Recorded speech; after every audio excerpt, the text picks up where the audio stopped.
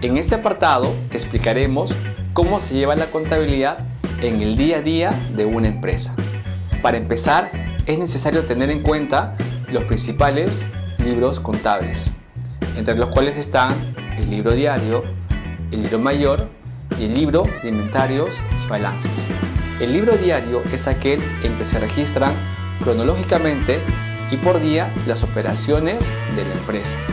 El registro de las transacciones se hace en el asiento diario.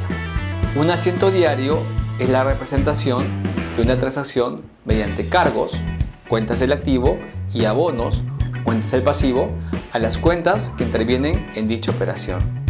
El libro mayor es un libro principal donde se transfieren los registros de las cuentas del libro diario. Los registros se efectúan con el objeto de ver los movimientos y saldos acumulados cada cuenta. En este libro se transfieren del libro diario los cargos y abonos a cada cuenta. La estructura de un libro mayor depende del software contable que se utilice. También el libro de inventarios y balances, el cual muestra la situación contable de una organización a una determinada fecha. Los libros más utilizados para el seguimiento de las operaciones o transacciones de una organización son el diario y el mayor.